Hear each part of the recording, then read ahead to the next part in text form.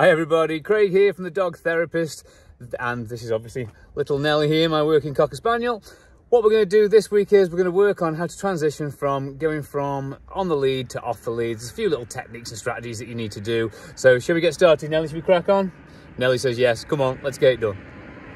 Okay guys, the very, very first thing is, is if your dog doesn't heel like this, then whatever you do, don't even try think think of you even thinking about trying off the lead. So so when you look down and you walk your dog should be in this position before you even think about trying off the lead. Nelly heel? So can we see where nelly is? So nelly doesn't go forward. You can see where she is to heel there. She doesn't move. She doesn't go past my knee. As you can see there's the knee. Yeah so when you look down, this is what you need to see. If you don't see this, promise me you won't take the lead off because if you do, you're just going to set, you're just to set yourself up for failure. So this is where you need to be first. Okay guys, the first way I do it is I wrap the lead around the dog's neck, pull out a tiny little handle. So let me show you what I mean. So I wrap it round, wrap it around again, and then I'm trying. It's kind of hard to do this at the moment. I'm holding the camera with one hand, and so can you see? Like I've pulled that little handle out there. So the, the lead, as you can see, is around Nelly's neck. You can see there's a tiny little handle at the back there. Now, the first thing you want to do is is you want to relax. I know it sounds a bit silly, it might sound a bit stupid, it might sound a bit daft, but you've got to relax because if, if you get yourself all anxious and you get yourself all het up thinking, oh my God, the dog's going to run off, guess what's going to happen? Your dog's going to run off and it's not going to heel properly. So the first thing is take a few deep breaths, then just tell your dog to walk to heel. So Nelly, heel. Get the dog to walk to heel nicely. Nelly, heel. Get the dog to walk to heel nicely, just like Nelly is now. Ah, ah. Don't let her sniff the ground. So just like so.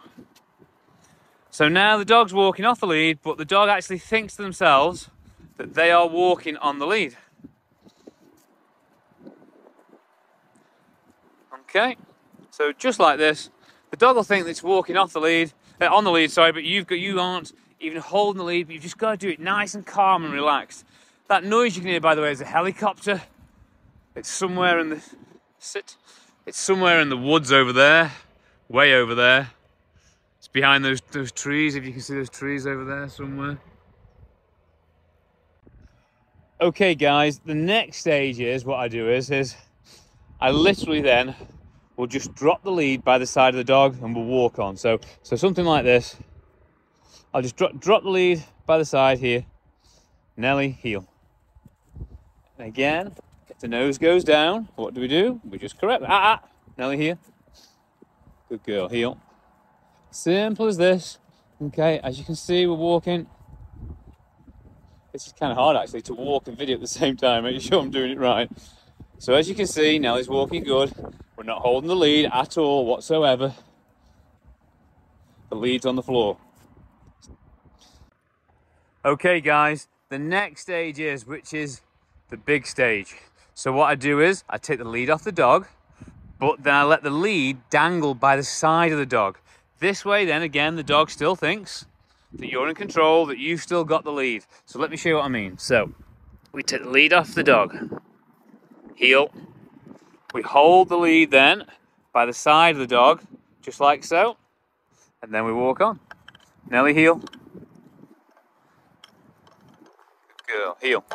The dog then still thinks that you're in control because you've got the lead, but as you can see,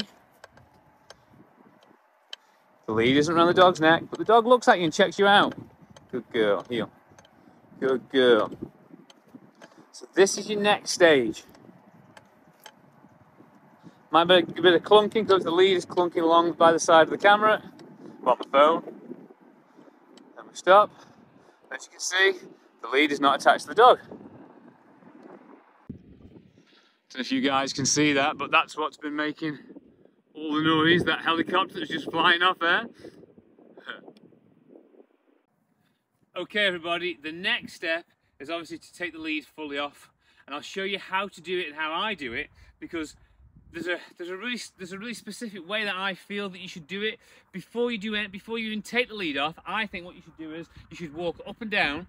Try also well, try to find a position like this, like a place like this, where the dog can't go left, the dog can't go right, and I always find that works better. But before I take the lead off, I'll really check the dog first a few times um, and make sure it's under control before I do take the lead off. So watch what I do, and like I say, pop, pop it into your into your puppy or your dogs, and let me know in the comments. Tell me how it works for you guys.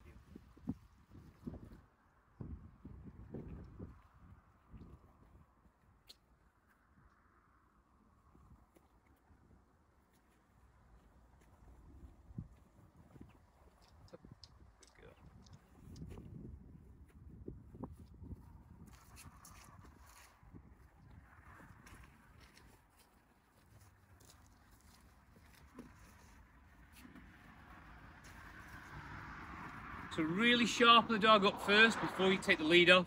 Really important, in my opinion, it's really important. because I just think it gets the dog under control. Again, you saw Nelly's going to sniff the ground then, quick little tug on the lead. Really get that dog under control before you take the lead off. When you take the lead off, do it like this.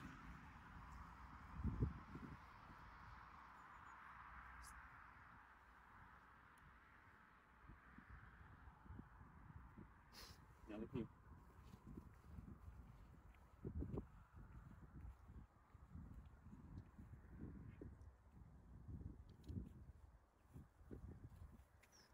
you see the control I've got with Nelly. Here. We go round, we turn into the dog. You see control is really good with Nelly. Here.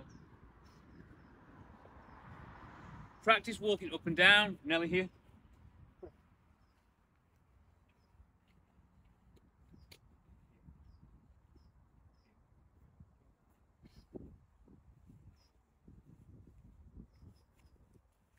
So sit, get to that stage, nearly here, and then once you've done it, put the lead back on the dog. Once you've done it, put the lead back on the dog, put the dog away, leave it later on today, and then start again. Keep doing and doing and doing that, and you'll progress. You'll get to the point then when you get like Nelly is, where you can walk on and off the lead, really, really simple. There's no tugging, there's no, there's no being in front, anything like that. And you then can get your dog to where you want to get really, really quickly. But I've always found, for me, if I follow those simple steps of going up somewhere where the dog can't go anywhere first, a bit like um, recall, you do it in the hallway first. So find somewhere like this where you can walk up and down really nice, really easy. Do follow the steps where you wrap the lead around the dog's neck, you then drop the lead on the, on the side of the dog, and the last one is then you have the lead dangling by the side of the dog. Do those first. Do those for at least at least two, three weeks, maybe even a month before you even think about taking the lead off the dog. But obviously, same as anything, it's hard work, you know it is, to, to get the dog to do things you want to do. It's repetition, repetition, repetition. But whatever you do, on each stage that you do, whatever you do, don't move forward until you've conquered the first stage. Make sense, everybody? Okay, everybody, this is the end of this training session, at the end of this video. I think this is going to be the last one of 2023. So if, if it is, and if you're watching this before Christmas or just before the New Year, we wish you all, me and Nelly that is, we wish you all a happy Christmas and a fantastic New Year. And don't forget with dog training, sometimes it could be that you feel like you want to just rip your hair out because it can be so annoying. It can be so, it can just literally do your head in. But it's repetition, repetition, repetition, repetition. And following the, the number one golden rule, which is don't let your dog get away with anything because if you don't correct a bad behavior, behavioral pattern, remember that your dog is going to think that you think that it's okay to do so. So you must correct those bad behaviors with your dog. Now, in 2024 wow it sounds a bit weird to say 2024 there's four ways that we can help. We can do one-to-one -one training when we can come to you and train you and your dog. The second way is as we do online coaching support where you send us your whatsapp videos. We get some great uh, results that way. The third way is, is we do classes um, in newcastle under lyme in staffordshire and we start in um, in madeley near crewe and nantwich in cheshire as well. One's a monday night one's a tuesday night and they're both 20 pound per class. And the last way is we're going to do some uh, group through behavioural walks where we're going to have dogs that are reactive, that are jumping all over the place, that can't walk to heel, or that are barking at other dogs. And we're going to get a group of those together, and we're going to walk in town centres. We're going to walk in countryside, in the countryside, and we're also then going to go to pubs as well, so like dog-friendly pubs and cafes and things. And they're all going to be under my supervision, so we'll be able to fix those bad behaviours for you really, really quickly.